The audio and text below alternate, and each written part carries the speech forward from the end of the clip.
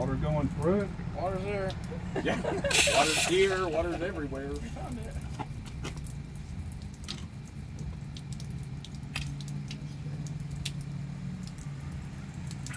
saw that. I saw that.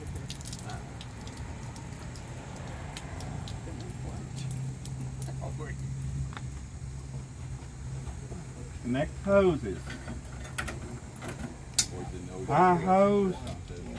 Testcock number. That's the very last thing that you want to close so you keep water supplied to your customer as long as possible. That was a test. Yeah, I don't like people watching me when I pass, especially 16 or 20. We'll walk you through it, buddy. Oh, you're in firing range. You're gonna have to say You're right in firing range. Make sure all your valves are closed on the gauge.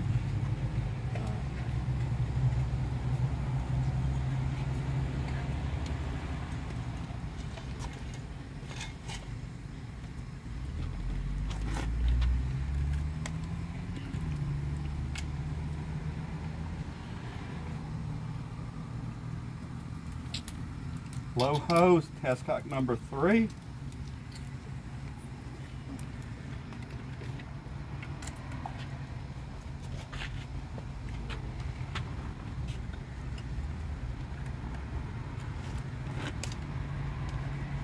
Open test cock number three.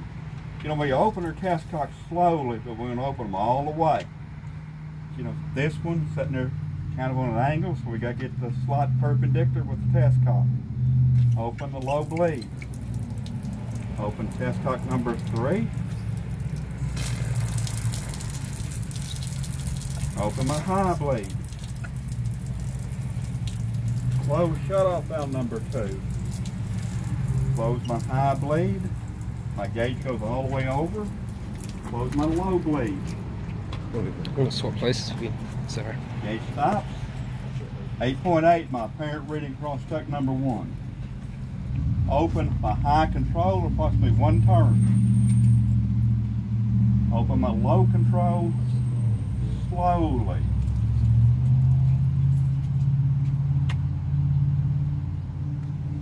I got here. Watch my gauge. You know, the more proficient you become, the faster you can make it drop.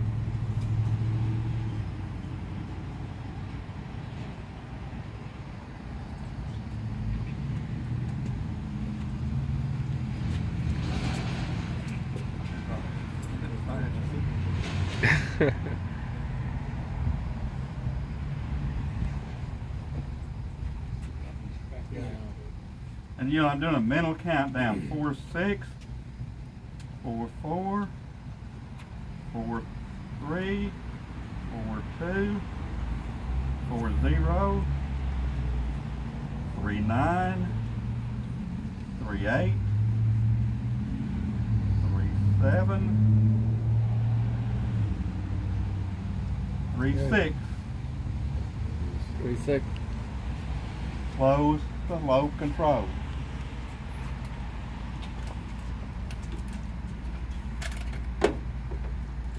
My bypass hose up. To my gauge. And loosely, the test cock number four.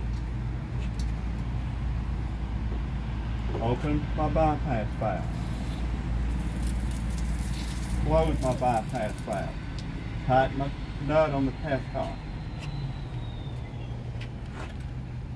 Open test cock number four.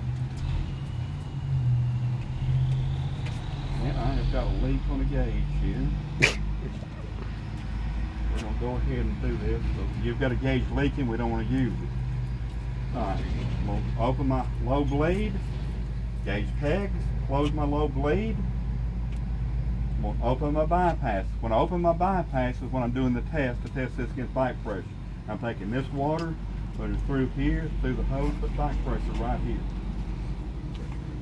I'm gonna open my bypass valve. Okay, it's remaining steady. I'm ready to test the number two check close tight against back pressure. Now I'm ready to test check number one. Open my low bleed, close my low bleed. 8.8. And that's it.